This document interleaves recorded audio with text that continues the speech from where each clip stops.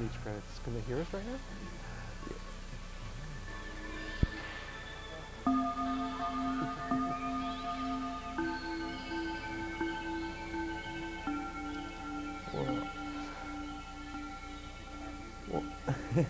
Well, good morning, Austin. Uh, this is Atheist Community of Austin, and we're bringing you the Atheist Experience. Uh, we're running a little technical difficulties. We usually have credits come rolling up the screen there about this time. It, uh, sorry, yes. And uh, this is live. There we go. Let's go ahead and show the credits there, Jim. Thank you. okay. Bear with us, folks. It, uh, uh, the, this is live September the 6th. Uh, we will be taking your phone calls here shortly. Uh, we're doing a little different format, as you can see on our set there. We, have, we changed things a little around today. Uh, we have a special guest here, Mosch Virshup. I'd like to welcome you to the show. Thanks, Ray. It, uh, we do a few uh, uh, announcements here for the atheist community of Austin. Uh, we meet every Sunday, at, usually at the Hot Jumble Bakery, but today we're having our lecture series, our monthly lecture series, and our guest here, Mosch Virshup, will be at uh, Furr's at North Cross Mall. Uh, and anybody that want, wants to come out and have questions or whatever else, it's free and open to the public. Should I tell them the title? Sure can. It's The Bible's Ethics and Other Atrocities. And the subtitle is, If you still think there's something good in it, have another look. There you go. It, uh, and that's the title of today's show also. It, uh, and they'll be flashing the number up there, which is uh, 472-2255. Uh, the other announcements, uh, we have our uh, quarterly blood drive is coming up October 17th. We love all the atheists. Get out there and give blood. Uh, who knows, might end up some Christians out there with some atheist blood.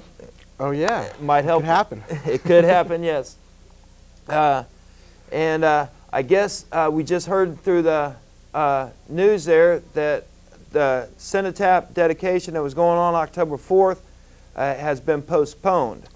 Uh, unfortunately, yes, uh, we was definitely looking forward to that trip up to Comfort, Texas. But uh, we will keep you up to date on that because we will be going up there soon. And uh, we, I don't have a date for that at this point in time. So uh, I guess we're ready to go on to our guests. let me, for a full introduction here, we would like to this is our first church member to be on the show. uh, you're a member of the Unitarian Church, is that right. correct? First Unitarian Universalist Church of Austin. Of Austin, there you go. And uh, you uh, uh are an author. Uh, you're having a book come out soon. Uh, the title is Morals for the 11th Millennium. That's correct. Lots of luck on that, I hope. Thank you. And I'm looking forward to Very reading excited. that. Yes. and we'll just go on and explain what you do with your self-defense there is how you describe it, self-defense That's for... right. That's right. Go ahead and explain it there. Well, you know, I just want to tell you why my most important sure. concern being here today and, and, talking to the group of atheists later this morning. Um, my, my purpose in life is to empower people to, you know, empower your viewers today. You guys have been doing a great job talking about the Bible, point, you know, telling atheists that one of their one of their responsibilities, if they want to get into the debate, the public debate, out in the world is to get hold of those Bibles and start reading them. Yes. But you know, it's really hard for us. We've been told all our life, hey, this is this got all this smart stuff in here. And then you feel really stupid. You open the book and, and you keep thinking, yeah, I must be must be something wrong with me. You know, I see that all the time. And they just put the book down and say, I can't handle this debate. And, and of course, every time you're talking to someone who's, who's a, like a fundamentalist Christian, they do know a lot about the book and you feel intimidated. Well, I want to empower our viewers today to say, to learn how to open a Bible and win a debate like right now without knowing anything more about the Bible than you hardly know right now. You don't need to learn a lot. You don't need to take courses. You don't need to, to you know, find out how it got written and what the history is. Just open a Bible with anybody and you can win a debate if you're really clear that it is, it is immoral stuff in that book. That, that book, there is no place you can open the book where you will find something that says something that you'd want to support, that's something that you'd want your teach your children. Not anywhere in the Bible. And once you really get that, then you can read the words instead of the metaphors, instead of the religious symbols. And that's, that's what I want to teach people to do. That is such a, um, a wild statement there saying that there is no, because uh, we get a lot of calls from our callers there saying, uh, how do you base your morals if you don't believe in the Bible? And uh, so you brought up an excellent point here. Uh, we're getting several calls already. Hi, uh, that's wonderful. uh, what, we want to send one through here yet? Uh, he, well, they're work, they're working, getting us a name right now, Mosch. I, it, uh, I, I was, I'm impressed. They, they, uh, they'll, they'll pass us a name here shortly. Uh, but uh, just the Bible ethics and other atrocities. Uh, that's That's it. okay. here we go, Keith. Uh, let's go with Tim here on line one. I can read that. Uh, we're getting feedback here. Oh, some feedback. Tim, Sounds like Star Wars. it sounds like you're smoking a bong there. Uh, it, uh, enjoy your bong there. It, Oh, no. it, uh, let's go on down to. I, I guess uh, I guess I gave my gave myself away the fact that I knew what that was. Huh? okay, let's go on down to Anthony. Hello? Good morning, Anthony. Yes, I was wondering, okay, uh, the gentleman wa- uh, to your left, This is Mosch Virshup. yes, he was saying something about empowering atheists to Yes, be please. able to take the Bible, Bible and win a debate. Yes. But uh, what I what I want, and I'll, I'll sit and I'll watch the whole program. But what I want to know is, as an atheist, as an atheist, you doesn't you don't the Bible. Your life is not centered around the Bible, right? Correct. And so you don't study it study it as, as extensive as let's say a fundamentalist Christian, right? That's what uh, that was one of his opening statements there. He, he's Uh-huh. trying to That's, that's the us. problem. That's Uh-huh. the problem. That we atheists give it away. We just say, I, I don't even want to look at it. You debate it, and I, I'll just tell you that I'm not interested, and then we can't win an argument. Okay, so if, if you don't study it as extensively, how would you be able to know that everything that you're putting is in its proper context? What basis? What are your, uh, uh, what I guess, uh, what are your tests? In other words, what are you basing the Bible in terms of what sources you using to say that this is wrong and that the Bible is not true and things like that? What source are you using except your atheist views? Good Uh, question. Good question. and we're not just using our. It's your own. If you sit down and read the statements that are in the Bible and make your own decision, we're not. Uh, and I, I answered the question, but you go Well, that's okay. Well, you know, Ray, the way you've been answering, I think I've been, you know, I've watched a few of your shows, and the way atheists traditionally answer the question is they get busy with talking about how it can't be true. And, you know, I don't care if the Bible is true in every word. The most important thing to me is what is what kind of ethics, what kind of morals does the Bible present? And if you open any page, any page, we've changed cameras, we open any page of the Bible. uh, I'm learning to do this. This is fun. Um, you open any page and really read the words. Don't don't tell yourself the stories. Don't go back to what you've been taught in Sunday school, or don't even learn about what the scholars are saying, which are you know closer to what I'm concerned about. Just read the words, and you will find that it's not tenable. You cannot live by, you wouldn't want to live by what the Bible has to teach. So I am asking atheists to get familiar with the Bible. You say we aren't. That's right. Too many atheists aren't. Don't be afraid to open any page in the book and read it for just what the words say. And don't try to go, well, I must not understand it. You're understanding it. It's as bad as it says. So just look at it. That's what I'm asking atheists to do. Does that answer your question? It- Well, s- sort of, kind of. But the thing, the problem I have with that, that if you you can't take one verse and and just say, well, oh, it says that right there. See, the as a Christian, the the Bible, the whole Bible, you got to take it within its context. It's true that some immoral thing was recorded. That doesn't necessarily mean God agrees with them. Well- but He recorded those things. I have. a and, uh, so you're telling me that you're going through the Bible and just picking and choosing what you want. No, no, Uh, I, don't, I don't. I, don't. I don't omit the bad things that happen, but I understand that this is what I'm talking about. Is that if you take it from a pure neutral point of view, it's not saying that that uh, this is that this is right. Like for example, like uh, King Solomon had all those uh, concubines. Okay, for example, it doesn't mean that God agreed with that. He just recorded that. He just recorded certain things, like David. Some things that David did wa- wasn't right, but it was still recorded. And so what I'm but saying these is are Joe. Joe, may I kind of in- interject? I'm not saying that there's some bad parts and some good parts. Joe, my challenge is that you can't find me a page in the book that that a person with healthy ethics and how they live in the world could agree with. That what says on that page. I'm not picking out the bad from the good. I'm saying that if you will one day open the book, just just flip through it. You know, take a, a Bible like I've got here, and just close your eyes and go, okay, I just found a page. I don't know what it is, and start reading. Uh-huh. It you won't you won't be able to live with what it Yeah, says. yeah, yes, you will. But see, but look, look what you're doing. You're doing it arbitrary. If you just open a Bible and read one verse and don't know what the whole context said, you can't you can't read. That's not how you approach the Bible. Well, well, okay. It's just like me reading your literature. If I go in and read something about your literature that Merrill Her- uh, uh, em- embezzle money from the atheists and just take that statement alone without finding out the whole details, then that would be unfair to you, wouldn't it? Well, I would I would say it doesn't work just at the verse level. You can read a whole chapter, you can read a whole book, you can read the entire Bible. And you'll come up with the same conclusions if you stay with it word for word Mhm. instead of all the things other people have said. But I think there's been a lot a lot of people with good intentions Exactly. that have said this is my book, but they weren't really reading the book when they said it was their book. But you have to read the. Wouldn't you agree with me that you have to read the whole context of what's going on? I don't agree with you, partly because so many people take also take the Bible out of context. You know, when somebody comes knocking on your door, they, every, they, we're we're always discussing But the Bible, everyone. and we're always trying to say the reason this is so bad is it, the good stuff is someplace else. It's always someplace else. It's always some other translation. It's always some other reason they would have said it this way, and what they meant is that way. The Bible is hurting us in our day-to-day lives, is what I want to tell you. And if you don't read it in every part for how it's hurting you, then other people are going to pick it up and read what the words say, and they're going to live by those words part of the time. And that's going to hurt all of us. Let, let me say this.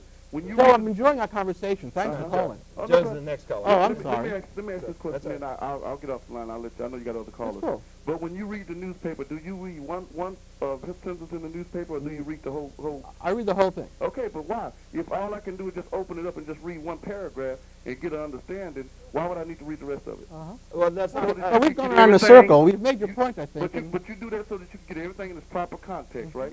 Because you don't want to read one verse, uh, say that something somebody did something, and then don't read the whole uh, context of what's actually going on. Because people make statements. So to just open up the Bible and just read one verse and then judge it, judge the Bible based on one verse, which probably taken out of context. Because You've remember, al- you coming from. A, I'm really glad a- you a- called. We've already gone around in a circle. We both said what we got to say. I, you know, let's go on to other callers. I really, you know, I, I think it's a good conversation. Okay, you know what I understand had to say, answer it. I understand and I know what you answer had to say. It's great. can't answer it. Yeah, thanks Thank for you. calling. Thanks for calling there. All right. It, uh, whoops, hit the wrong button. This is great. I'm having a great time. Thank you. Yes. It, uh, This is what I like to do. Talk to people who disagree, and we, you know, really get down to it. And, and it gives other people an opportunity to hear how how the conversation goes when you really engage. And uh, he brought up an excellent point. I just don't read one paper. It, uh, I read more than one paper. I watch more than one news channel, and then I get so I have several sources. See, and they're, they're going to take the Bible as their only source, and if you take the Bible as your only source, you're going to run into problems. You have to look at other sources and other histories and everything else. Well, yeah, well, you and I have different messages, just a little bit, you know, that- which is cool too. You know. Okay. Let's go on down to Joe. And Joe, Hey, how's it going? that's my usual co-host, Joe. Good morning. Joe Zemecki. How Oh, you hi, Joe. oh, great show so far. Mosch is my man. doing? Yeah, I want him in my corner. Right? Uh, hey, a couple things. First of all, the October 4th uh, Cenotaph dedication, that's a drag that got postponed. yes. We need to make sure everybody in the group knows about that, too. I, I made that announcement this morning, but thanks for uh, reiterating it or re- reminding us. It, uh, uh, h- how was the concert last night? Man, it was great. The Beastie Boys. He went to. Antonio. Bi- That's the reason he's not here today. Sorry, Glad you didn't come, Joe. We got, yeah, we got in real late. Uh, I really wanted to be on the show, but we got in late, and uh, but it was a great time, and against all odds, we actually made it. So, uh, anyway, I had uh, a couple of things. The uh, Sure. the blood drive, October 17, and I'm uh, going to put it again. Thanks a lot for plugging it. I heard that earlier. Thank you. I'm safe today. Uh, also, I have my I have my uh, atheist unsung hero or heroine of the week, which Sure. I had actually Quickly. gotten off of for a while. And if you don't mind, I'd like to read a couple paragraphs. We got another caller though. Oh, Yeah. you do? Yeah, we have several calls, but if you do Oh, quick. okay, I'll do it next time. Uh, Oh. Next week, and I'm going to be in there Sunday. All right. Thanks. I'm going to try to make the lecture today. Fantastic. And, uh, Looking I'll forward to seeing you. There. All right. Take care. All right. Yes, uh, Mosch will be at uh, Furr's at North Cross Mall. So if you can't get through the phone today and you have questions or comments you'd like to, but uh, please don't come down and beat him up or anything else Hey, the like that. phone, the fun never stops. We can Okay. keep talking. All right, we're going on down to uh, um, oh, don't want to do that. I'm gonna Amanda. Hi. Good morning. Um, I'd like to say hello to a fellow from the Unitarian Church there. Oh, And I'd Hi, like Amanda. to take issue with the idea that atheists should spend time looking into the Bible. It contradicts itself. It's uh, seriously contradictory because it's big and it has writings from many different time periods exactly. and different cultures and different individuals. It's a scattergun approach to morality. Now, I have to deal with Christians, not the Bible. I talk to my dental hygienist, and I don't ask, let me see your medical manual. There's an amount of trust that we have in our fellow people. But I don't think that effective for us. I mean, if a, if a soldier comes into my village, I'm not going to sit him down and say, let me see your manual of military protocol and your book of rifle operations. His morality is what he's doing, not what he's reading, but what he takes out of it and actually does. And I think that between the Bible and what people actually do is a big gulf. But I see a consistency in what it makes people think they have a right to do. Why should we look into the Bible to see why they're doing these things? It, uh, That's a what- good go. Go ahead. That's a good well, question. Amanda, I, re- I appreciate your position. You know, you're saying, I think, that what's important is what, how people behave, not what they're reading, which I agree with 100%. We have an unfortunate circumstance in our world, which is there is one book which affects people beha- people's behavior on this planet more than any other single book. It's not an accident. It's not a historic accident. It's not because, eh, you know, it had like some kind of wisdom that carried itself through the ages. The reason we have this book today is because it's the single most effective tool in all history for successful warfare. That's why this book is so dominant in our culture today. And if we let it be, if we don't challenge the book, it continues to be that tool, that weapon in the world to continue to support domination and, and, and what I call patriarchy, hierarchy in the way we operate, dictatorship, those kinds of things, domination of men over women, domination of children. This is just like the air we breathe, and the air we, and it's the way that it's that way because of the influence of the Bible. So that's why I think it's really important to discuss the Bible and not to pretend it's not there, because otherwise, what happens is we end up in a, in, with an assumption on the part of the people we're talking with. They assume that we also think the Bible is a good book, and all it is is a difference between how we um, how we interpret it. So we're just interpreting it differently, and that's not it. We're not interpreting. We're, we are certainly interpreting it differently, but we really want to show that they're using a manual that they don't want to use. So, you know, it's a difference in strategy. I think you and I have the same have the same uh, goals in the world. I'm thinking that this is what would work better, but you know, I don't really want you to take on that work if that's not comfortable. You do it your way. That's really important. So in a sense, this is for the people who, who really do have a sense that they could use the ability to debate right on the Bible, but haven't had the, uh, the ability, maybe the courage to overcome certain obstacles to being able to do that well. Okay. Did I get this clear that you suggested that we should open a Bible at random for this? You got it. Okay. I And read the words. That's as useless as opening a medical manual or a manual on how to operate a rifle at random. Well, can you understand what a rifle? You would be. I, I submit. I mean, you know, you're sounding pretty articulate and intelligent to me, Amanda. So I think that if you opened a rifle manual, believe it or not, you'd figure be able to understand the words that it says. You know, put this screw over here, and, and do, you know, I, I've never handled a rifle, you know, but I have a feeling that if every guy in the United States Army could do it, you could do it too. You know, read the manual and put together the rifle. But you're saying read the manual. I said read the manual, not open up the manual at random. Well, sitting I think you could open up a rifle manual at random and- to listen Okay. by opening it up at random is pointless. Well, uh, it really, you know, I don't know what to, I don't want to convince you except by telling you that people have done it. It's great. I mean, it works for people really well. It's the, the rifle manual uh, comparison may not really be to the point.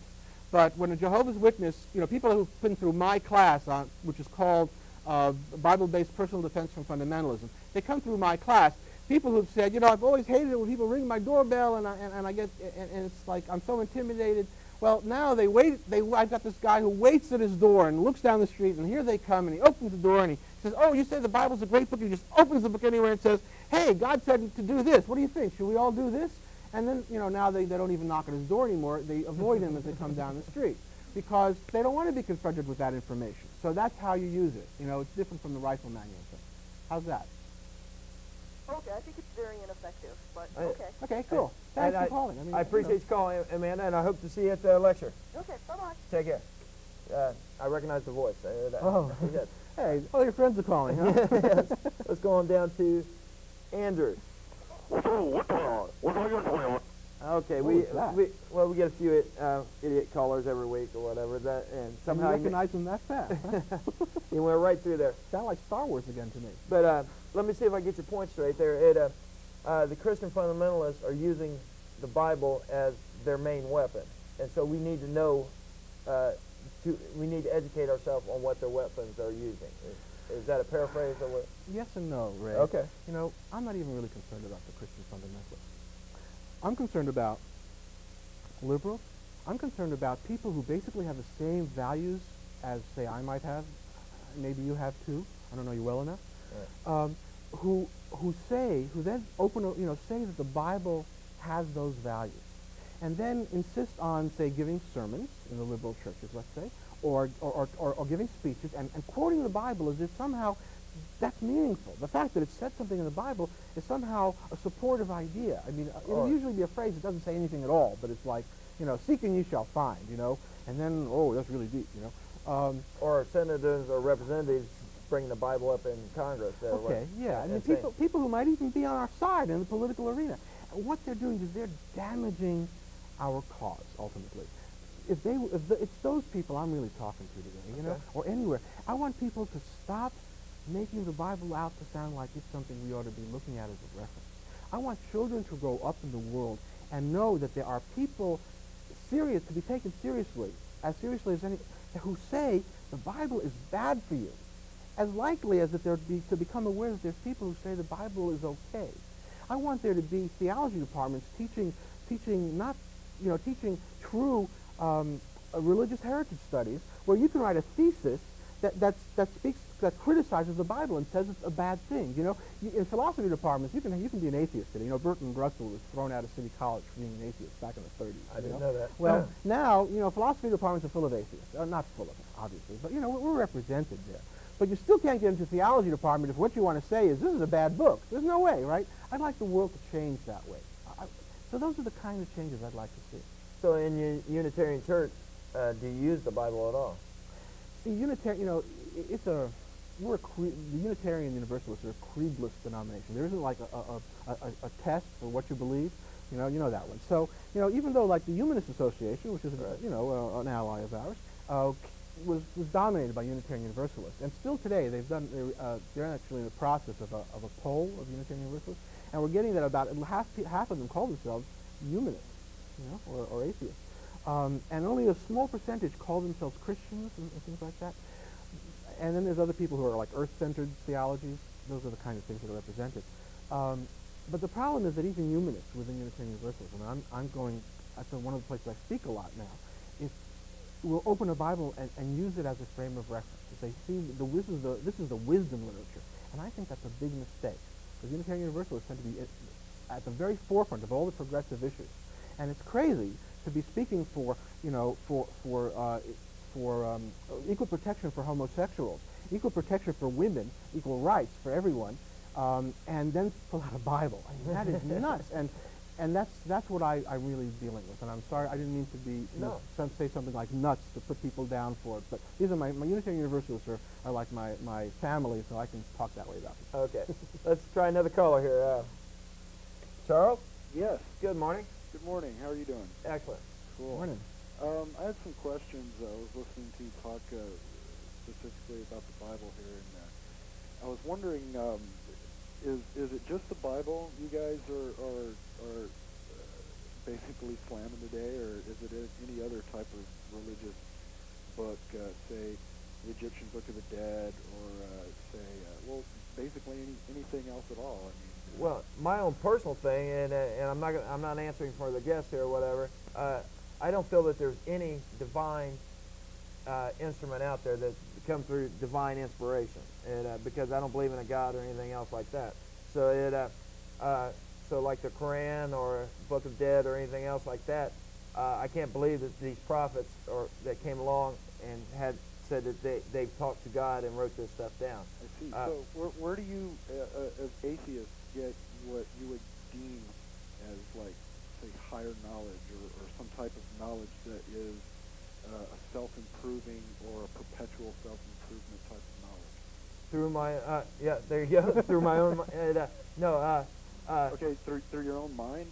yes and and through uh, uh, other intelligent people uh, I consider Mosch an intelligent gentleman here it uh, and uh, people have gone before me but it uh, okay, people have gone before you. Right like uh, Benjamin that? Franklin Thomas Edison Okay, now wait a minute. Ben Franklin and Thomas Edison, you're talking about basically religious people here. No.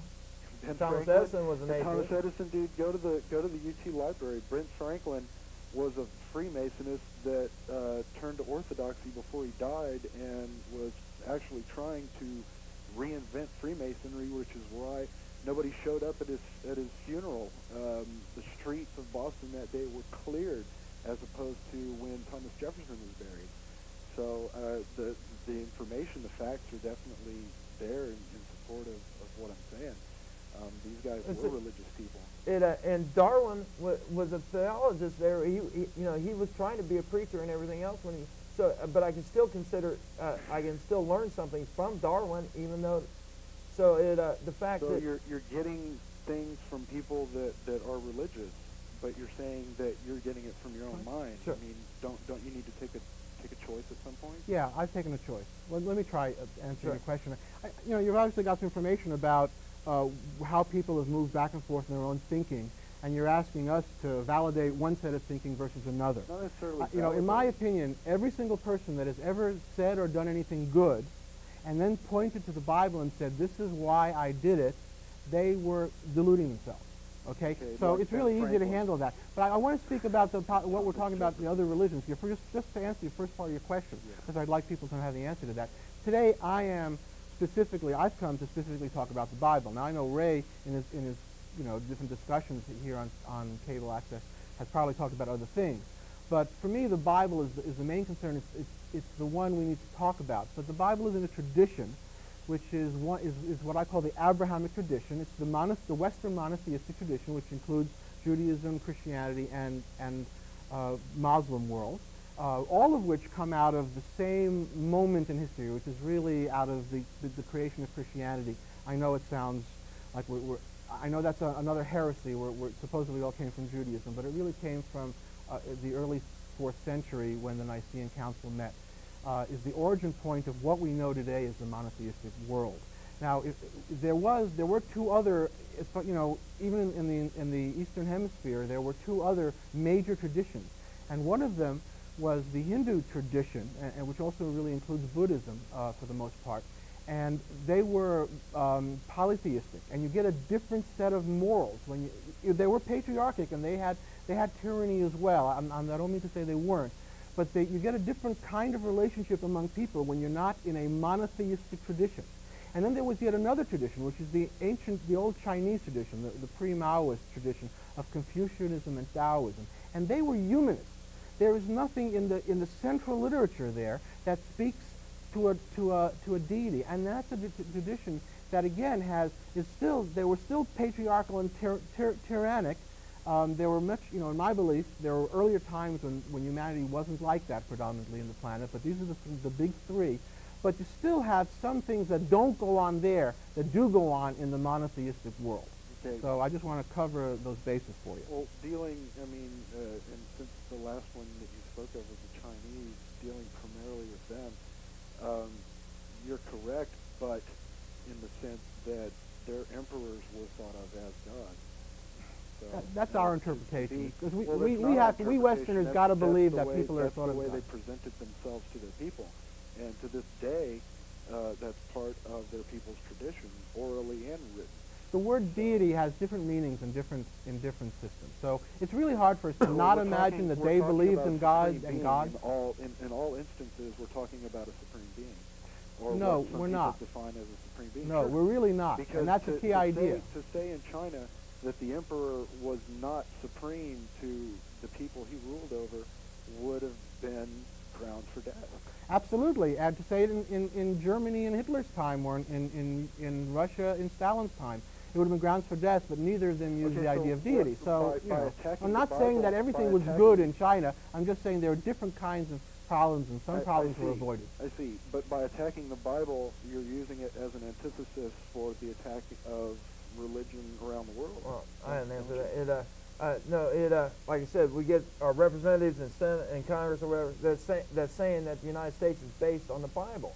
And it, once you start saying that, then we have to say some. We have to point out the, the contradictions and the atrocities and everything else in the Bible. But We- do, do you do you know what the government is based on by the symbols that they produce and, and the things that, that It's supposed to be a secular nation, about- and it, and it's not. Well, we're, we're talking about people that um, were uh, more or less into uh, the belief of many gods, um, and that's something that in the government uh, end of the bureaucracy has been around for, uh, well, at least since uh, the, the 1800s. We're getting into a Um, convoluted conversation here. yeah. I don't know where, where, where, Well, you're, uh, where you're going to. specifically about the Appreciate it. Bible. I mean, you're you're dealing with saying that people built this country based on their beliefs of, of the Bible. No, I'm not saying that. Okay, well, that's what the gentleman uh, to the other side. No, it, uh, I, I'm saying that's what they're saying today. I'm not saying that's what No. happened yet. We Well, get people. That's what people are But saying if you today. read if you read what Thomas Jefferson and Benjamin Franklin wrote, you can understand why they would be saying that. I mean, Okay. On the other hand, all you read what they wrote. You'd also understand why the we're saying what we're saying. It's kind of like you know you, you're pulling out what you want in that context, Well, which is I'm- I'm okay. you know to- that's I'm what this, you know we're here to have a conversation, and that's cool. I'm just trying to be as specific as possible about this this end of the Bible subject, talking about um, Thomas Jefferson and, and Benjamin Franklin, people of that nature. Um, by the references they used in their writings, you can definitely see where people would think that they were getting their beliefs from the Bible. Most of them were That's deists, fine. from what I understand. Yeah, and, uh, you so know, you if, I, you- if I understand it correctly, they uh, they were um, um, uh, I forgot the term, um, but they they were. You know what they were? They were people who had of different- values. of different gods. They had the important thing about all of those people is they had values, and their values stood against the common value of the time. Their values were that democracy is, is better than, than having a monarchy. Now, the Bible didn't suggest that. And that's the important point about these people. Thank then you. we can argue about whether or not they took it from the Bible or if they disputed the Bible, because they did both in the course of their lives. And I don't really care, because I look at the Bible and I know whether it's disputable or not, and that's the important thing. And I mm. know that when they said this should be a, a people, a, a place where, where everybody takes a part in it, they didn't find that in the Bible, and I'm sure of that. All right. Okay. I, I need to go on though. Thanks for your call. Yeah, excellent call. You take care now. Uh, let's go on down to Paula. I'm having a great time. I appreciate it. We were having some great calls. Yes. Hello. Paula. Hello. Good morning. Hi, Paula. Hi. Okay, I've heard, I've heard the man in the blue shirt um, said a couple of calls back about that the Bible was bad. Yes. And my question is this: you know, even if you're atheist, I don't believe anybody is truly an atheist. Um, Okay. What is what is bad about the Bible? I mean, the Bible. You know, where do you get your values from? What kind of values do you have? Because you know, everybody when you're born, you don't know right from wrong. So you've got to get your values from somewhere. So what is bad about the No, Bible? it uh, How could it be a bad book? there's there's a lot of evidence to support that morality is an evolutionary trait. It uh, Paula, the, be- the reason you believe that is you've lived, grown up in a culture that is, is dominated by the Bible. So you believe people can't grow up and, and have a sense of good, of good, right from wrong, without somebody else telling them first what it is. So I, we, you know, we have a, a basic premise difference right there. Uh, it's the Bible that causes us to have the quandary in the first place. It, and, and so what I'm asking you to do, you know, I'm asking all our viewers to do, and I'm glad you're giving me an opportunity, and you can, you know, you'll get to talk again. But I just want to say that what I'm asking you and viewers to do is open it, read the words. It doesn't support the things that you say are good in your life, Okay, are good in the give me- world, and it does support things that you Wait, denounce. Give me an example. Give me an example. I love it. Um, I've been waiting for this and I haven't heard. Okay, Okay. okay. You know, we'll go to That's my favorite point. one. My very favorite one. You know, in, in this kind of question is um, Numbers chapter 31. Okay, pull that one out. Moses, uh, uh, in, in the chapter preceding that, I'll just try to be real quick about this. Okay. In in the chapter preceding that, th- there's been a whole explanation in the chapters preceding that, a whole bunch of explanation about how the Hebrews are supposed to treat the people they conquer. Okay, in Canaan, when they're supposed to take over Canaan for, for God. So. Um, and one of the things they're told is kill everybody there. Just kill everybody there. Well, we get to this chapter, and lo and behold, the soldiers, the whole military attachment they sent out to kill, to conquer uh, the city, I forget which city is in, in chapter 31. Uh, The story recurs with different cities, but here's the best of them, and, and um, the worst of them. Um, uh, along come the soldiers back, and they've brought back the booty they were supposed to bring back. They brought back the gold. You can't burn gold. They've brought back uh, some of the animals and things. But you know what? They did something they weren't supposed to do. They brought back the women and the children. You know, they killed all the men, just like God said, kill all the men. They did. But they brought back the women and the children because they wanted to keep them as slaves. And guess what? Moses gets really mad. He says, no, you were supposed to kill them all. And, and, and he's really angry. So he makes them all stay outside. He says, okay, here's the compromise. God didn't, you know, God didn't suggest a compromise in the story. Moses comes up with a compromise. Kill all the boy children, that's for sure. We can't have them around. You know, they might grow up and be a hardship to us. We'll keep the girls, but only the virgins. Okay? So you got to kill all the women who, have, who we can tell have had sex with a man before, and now you've got all these virgins, thousands and thousands of women who've never had sex, down to little girls. Those get distributed as booty throughout the, the uh, among the soldiers, you know, the fighters, and then throughout the entire Hebrew nation. That's what the Bible teaches. Moses, the ultimate lawgiver, that's the law. Okay, I'm going to disagree with that. That is not what the Bible teaches. Let's open chapter 31 of Wait Numbers. a minute. You know what? Now, there are lots of stories in the Bible, okay? Some of the stories are parables. You cannot, I mean, the Bible, God is, is not telling people to go out and kill people. In Paula, can you give me, them I've given you an example. I don't know how prepared you are, Paula. Can you give me a, a parable, a story that comes out different? That, that's what I'd like to hear because I'm prepared for that. We'll talk about any story any viewer wants to bring up and say, see, really they're good guys. I'm prepared to talk about that. Uh, no well, kidding. excuse me, sir. Okay, she got her point across. I, I want to ask you one question. What's your name? Um, that's not. That's, Oh, okay. irrele- that's, That's cool. irrelevant. Keep your anonymity. irrelevant. That's all right. If you, if, you, if you don't believe in God, what do you want to know my name for? That's irrelevant. Okay. Nevertheless, No, are you really exist. No kidding. I'm Uh, sure of it. You studied the Bible. Yes, you bet I did. Okay, you did. All my life. Uh, And he well, still you is pro- you I'm studying. still studying it. Yeah. Huh? He's still still studying. studying it. Oh, okay. I asked you and asked your friend, but but nevertheless, um, are you a preacher? No. No. Oh, no. I wouldn't choose that profession. Well, you said you was quoting all this God this and God that, like Bible you, this, like Bible you that. believed it happened, but some of the things are not true about it.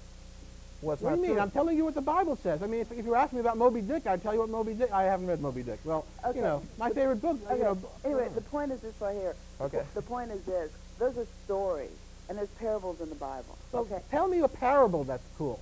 Give me one. A Read it out of the Bible to me. Don't tell me what it is. Okay, the, the story about the uh, the talents. The- Talents? The, ten talents. The ten talents. Yeah. Tell me what that that's is. the parable. I don't know that one. What do you, what ten talents? That's in the New Testament. Okay, fine. Okay, and which that is another point I wanted to bring up. You're bringing up things. Jesus came. Jesus is the Savior. He came, and there's some things that were going on in the, in the Old Testament that Jesus said, "Okay, look, we're not doing this anymore." Okay. Uh, Paul, very cool. I'm trying. I, I- really appreciate you bringing that up because the New Testament is another myth we've got in this culture. You know, the New Testament came along; it's a lot better. So I suggest you Revelation. You know, look at Revelation, say chapter five. Uh, let's see, my favorite ones, chapter eight and nine. Look at Revelation. Look at what God does, or Jesus does. You know, it depends on how you read it. Look what Jesus and God do, and have their minions do to the people who simply chose to not be believers. Because that's all Revelation discusses. Is there were the people who were the believers and followed God. You know, followed God, the, the Godfather, the the the um, the protection racket. They went in, and then other people who didn't. occur. And look what God says. The, he sends his angels to do to people. He tortures them. Every Wait, wait, wait. possible kind of torture. Said, you know, Hitler didn't one has in figure it out. He had to read Revelations, and he knew how not- to do it. Revelations has not occurred.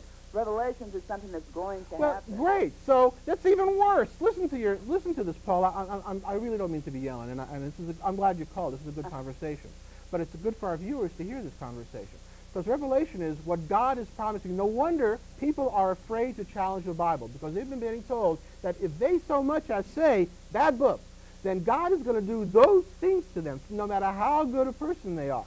So, you know, I'm asking if that's okay. Is that okay with you, Paula? That no matter how good a person I am, if the one sin I've got is to say that that's a bad book, that I'm going to get my heart tor- torn out and thrown in the fires, and, and that's only the beginning. Is, do you think that's cool, Paula? Can me say something? There's Sure. no place in the Bible that says if you say the Bible is a bad book, you know, you are going to be tortured. I'm sorry. Okay, you know, you know, you're right. just- Uh, what if I say God is bad? I, I that I like thing. other gods and I just don't like this God. Okay, one moment. So I that's just- what it is. I want to say one thing. Go ahead. I think you know you need to have somebody up there to because you're saying things that are totally out of perspective, totally out of perspective. Revelation, Revelation is a book that was a that was a vision. You didn't even say that. So there, there could be people out there that, that don't even know about the Bible, and then you're given the wrong idea. It's a, it's a vision that's that, that preachers use all the time to say, this is what's going to happen to you if you don't follow what I'm telling you to do. I mean, do you disagree with that, Paula? Don't preachers do that all the And time? then I, I have a question for Paulo there. Ed, uh, uh, you, you brought up the fact that the New Testament and the Old Testament. So you're automatically saying there are parts in the Old Testament that you are not going to agree with. No, no, no. I'm not saying. You know, first of all, let me just say this right That's here. what I just heard. Wait a minute. Take the your time, Bible, Paula. The Bible is just a blueprint for life. Okay. I don't think you're going to find anybody. I mean, you know, there's different people that wrote the Bible, so we're not going to say that every little single thing in the Bible is true. A man wrote the Bible. The Bible does not just appear one day, you know, uh, in the desert. Exactly. Thank you for supporting that idea that a, that a people wrote the Bible. That's right.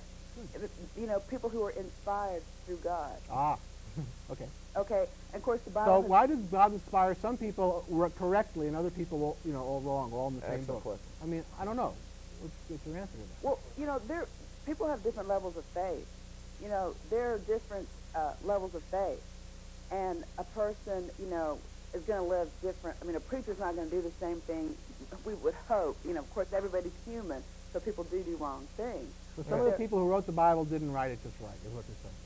Well, not necessarily even that, but I think through different translations. I mean, you know all this if you study the Bible. Sorry? How, you know Yeah, all we know the history. Bible, We've studied the how many history of the times Bible. the Bible's been translated. Right. You know. Well, I, I would tell you, Paula, I mean, what I tell people in my classes is there's this myth going around that the current translation you're reading is the, is the reason it's wrong, you know?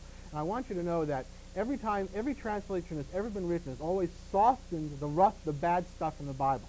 I can give you an example of that if you want, but I don't need to know if you need to pursue it. But the truth is that if you, the further, and I, I read Hebrew, by the way, so, you know, so I can tell you about the Old Testament, and I got to tell you, I haven't read the Greek yet, but I've got my Latin down, and, and I know how to deal with translations. I got to tell you real clearly that in every case, the Hebrew and the Greek are worse, are more virulent, are more violent, uh, have worse morals even than the translators left in there, because they, the translators were embarrassed about it, and they looked for ways to soften it in every translation in history. Well, excuse me, sir. I'm back again. Hi there. Okay, welcome back. right, Um, now, as far as you reading the Bible, uh, I'm glad you're doing that. Maybe, maybe you will turn around before you get through. Nevertheless, no, in your head, in your head, you know. That's all right. Okay, now, you, you know, you want to try to be comical and all that. I got a question for you. Sure. What came first, the chicken or the egg? What is the point of the question? Well, I- make the, your the point. The point of the question is the same as the Bible. You're going to worry about uh, every little parable in the Bible. You're going Okay. to worry about Then, and the point is that, that that the the Bible, other. the You're going to try to overtalk me. You're going to let me talk. Uh, Sure, go ahead. You're you. quite right. Please respect me. Go right ahead. Absolutely. Uh, okay. That's the point. Okay, can I answer it? Yeah. Okay. The Bible, Not what the came Bible, first was people. Bible. No, We're I got to tell you who came Bible. first, the Bible or what? You know, people came first, and then some people had an I uh, found the need to create a tool to oppress other people, and they wrote the Bible with that intention. They, re- they wrote the Bible was written for a specific purpose. At every point of its of its not so much as its writing, so much as its compilation. The purpose of the Council of Nicaea was to support a the the the, the, the emperor Constantine. That was the entire purpose of the compilation of the Bible. And then they could go out and kill everybody who spoke against Constantine the emperor. That's what the Bible gave them the, the, the overlay moral right to do. So that's the chicken that came first, or the egg that came first. Okay, uh, caller. Yes. Uh, I'm really sorry. Uh, we're running. Uh, we Oh, got a this bunch was a of great talk. I'm really glad you called. we got a bunch of people online Thank there, you. and I do appreciate okay, your call. Thank you. All right, you have a good day now, and uh, you are welcome to come down to the uh, to the meeting there and meet him in person here. Uh, it's We going can down keep talking down there. This would be great. I'll, I'll, I'll stay late. See, look at this. Uh, Furr's cafeteria. We can keep buying food and eating and talking. okay, let's go on down to RC. Hello? Uh, yes, RC. What's up? Yeah, I would be interested to know, uh, understand one of you is a Unitarian, is that correct? Mox. Uh, Unitarian Universalist. It's a combined religion now from two, two older denominations. Okay. Do you do, uh, like funerals and, um, Yeah, uh-huh. Yeah. We do all the same. Yeah, I don't want to say all the things. what, what, what exactly, after a person dies in your faith, uh, do you, uh, talk about an afterlife at the funeral or not? No, we talk about the life that was. Generally, Unitarian Universalists uh, you know, memorial services, we celebrate the person's life. That's, it is a different kind of service. People come and talk about all the great things about this person's life and what they contributed to us by having been here and, and, and what kind of example they gave us, and, and we just celebrate. That's what we do at memorial services. You pretty much conclude that it's all over at that point. In other words, that No, not for us. See, they they live on with us in our minds and our hearts. That's why it's not over. And and, and so it's never over. But that And, person, and and you know what? Their physical body contributes to the earth, and continues the cycle of the of the natural cycle. I mean, it's never over. but as far as their personality going on into a, a next world, you Oh, don't yeah. really believe that. Hardly, I, you know, I don't want to speak for all Unitarian Universalists. I wouldn't even want to speak for all atheists. But you know, pri- mostly they, that most Unitarian Universalists would agree with what you just said. That we don't think there's a there's something uh, an, a- that the personality continues I- to exist. I think he's talking about a soul. Uh, I guess so. But you you were trying to be you know trying to stick with Are you, general are you, terms. are you asking about a soul? No, I'm just, uh, uh, uh, I, I'm not really interested in what either of you believe about the soul, because I think I know what you believe. Okay. But uh, wh- what you're concluding is that this growth that occurs, this phenomenal growth in your mind and your heart and love and everything, just just absolutely comes to an end at the day of death. That's basically See, what you're the effects projecting. of your life don't come to an end. So how you live your life affects the world. How what you say about the Bible affects the world after you die, for instance. So say things that are going to support the world to be a good place. Don't say things that are going to hurt your grandchildren and the generations afterward. So that's how you that's how you live on. So that's the responsibility. Well, that doesn't seem like a very good living on to me. I mean, both of you, Sorry, it's not good enough for you. both of you, when you uh, draw your last breath, it could be today or in in uh, a year, then that's that's just it for the two of you. Is that correct? I, That's ho- my- I- that's- I hope so. That's my point of view. Uh-huh. Then well, I, you I know, would that's, be, that's okay with me. I live life to live life, not to impress somebody else. could I get you to define uh, love for me? Yeah, attention. What you, what, where you put your attention is how you find out what you love. Uh-huh. So, so that's that's it. Real Well, simple. I Been don't want to draw this for out, but let me ask one quick question. Sure, I'm running out of time. Do either of you uh, have anyone in your life that you'd be willing to give your uh, lay your life down for? Someone that you love so I much you'd be willing to die? Me, me too. I have several, yeah. Bunches. Would you be willing to die for an enemy? Die for an enemy. It's a funny word. You know, enemy is like the kind of thing you worry about in this kind of culture. I don't really have enemies. That's So, what, I mean, what you're talking excellent about? point, because I was going to say, I, I don't think I ha- I, There's I know there's people who people don't have like me. disagreements with. I, there might be people that disagree with me, don't like me, but I don't feel that I have enemies in this world. What's your point? Well, my point is that that probably neither one of you love enough to lay down your life for someone that you don't like or just care for. Why did you say that?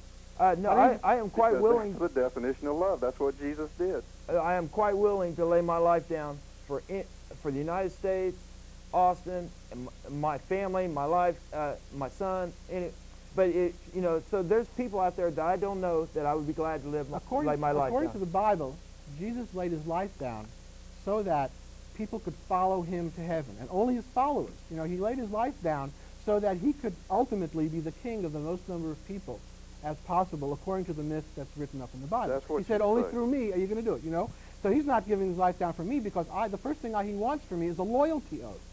I'm not going to give him a loyalty oath. So he didn't lay his life down for me. I don't believe in giving a loyalty oath. and uh, I, I, I can't believe I. You can't even prove that there was actually a person, Jesus, Oh, either. there, there really wasn't, but that's okay. We're Okay. talking about the Bible and the story in there. Well, I guess we're cutting him off because we want to go on. But you Yeah. know, Okay, thanks, guys. well, thanks for calling. It was yeah. a good talk. Thank Let's you. just stop for Sure. a second. Go ahead. And you wanted to remember what time I'm. You know, I wanted Oh, to know what time I'm going to be there Yes. at Furr's. At 11 a.m. at er, at Furr's. At North Cross Mall. Yeah, right? they- and this is a, a regular monthly meeting of the atheists. Correct. Right. Um, uh, lecture series. Lecture series. And we got a bunch of callers here, so let's try to go down here quickly to Steve. Hey, how you doing this morning? Excellent. Great. Uh, Too much fun. love your show. Thank you. Uh, I have a little comment for a quick one for uh, Paula. This is in uh, the precious New Testament, 1 Corinthians 14, Okay, thank you. Okay, 34. but make it fast. He's going to do that. yeah, go ahead. Uh, yes, it's uh, let your women keep silence in the churches, for it is not permitted unto them to speak, Oh, but they are commanded to be under obedience. Also saith the law. Thank and you. If they will learn anything, let them ask their husbands at home, for it is a shame for women to speak in the church. The New Testament. New Testament. Does she really believe that? That's rough because we're not have Paula to answer the answer what you. She probably has some answer, you know, and so, so it's a little rough on her, I'm sure. But, But uh, I appreciate your contribution. Hey, thank Excellent you very much. contribution.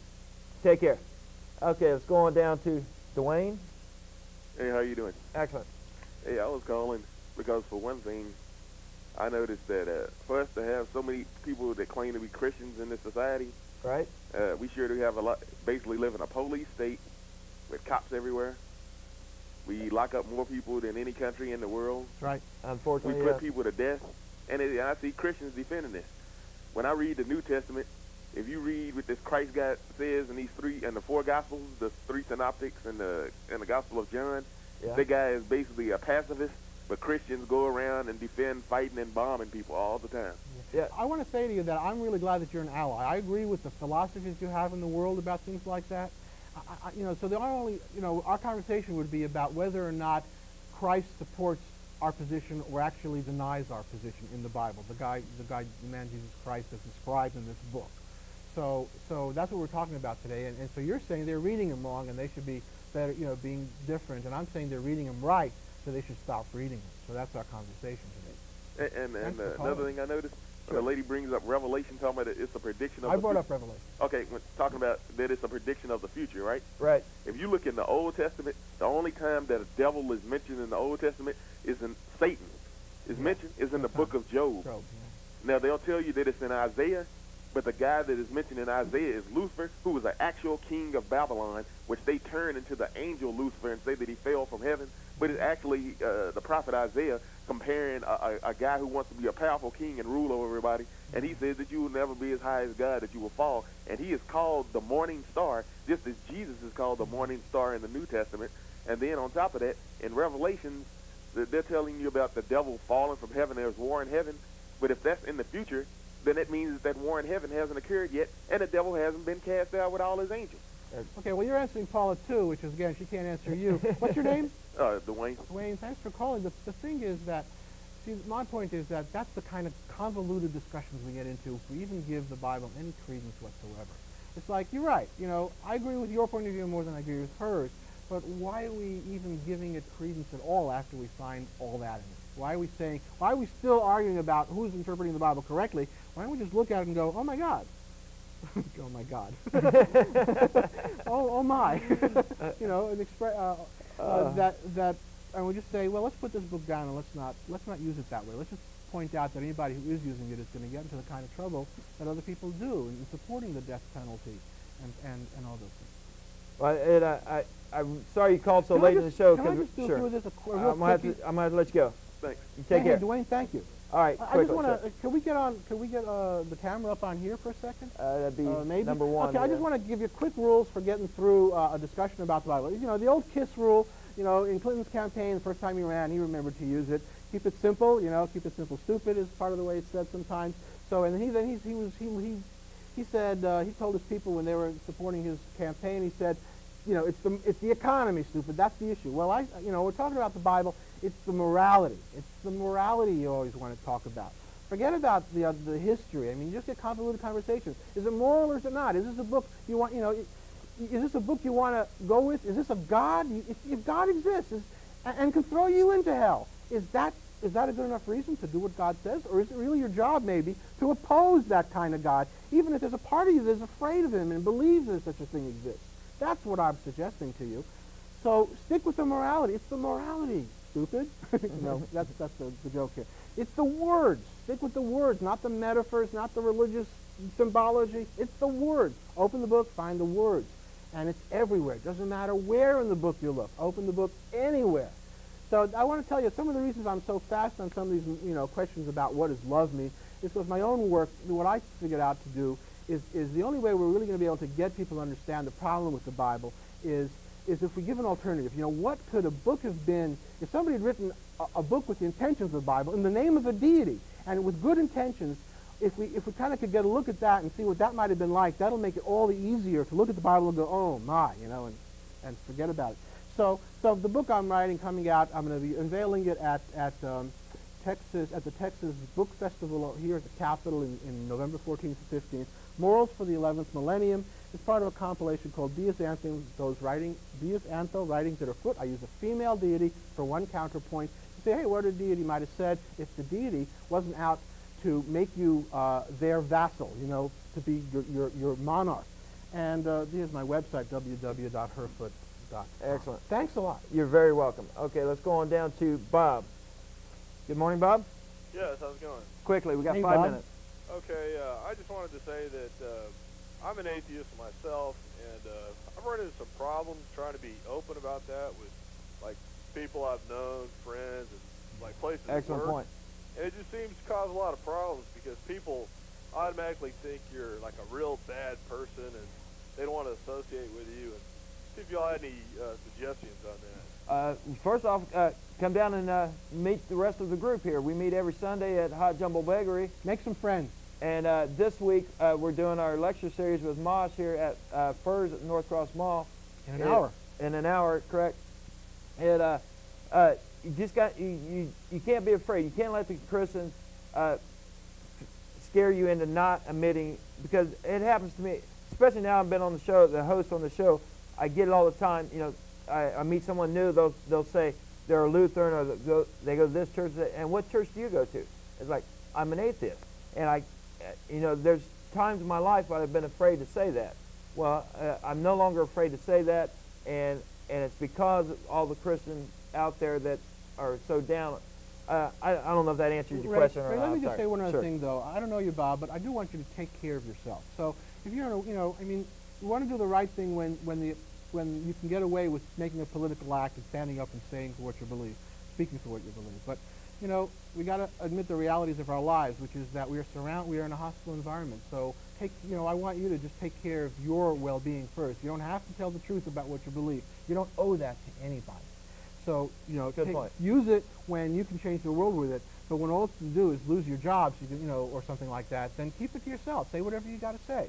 Yeah, that's kind of what it comes down to sometimes. Is Yeah. Well, uh, love to meet you in person. Come, Come on on down. to down. yeah. Can I, can I just say something just real quick? Uh, Sure. I just want to say that you know I'm glad that y'all are out there saying these things because a lot of things about Christianity and things like that are just I think are just a myth, and uh, it's a shame that everyone believes it. And it, it plays such a big part in everyone's lives. Worse than a myth. It's a, it's a nightmare. Thanks. Thank you.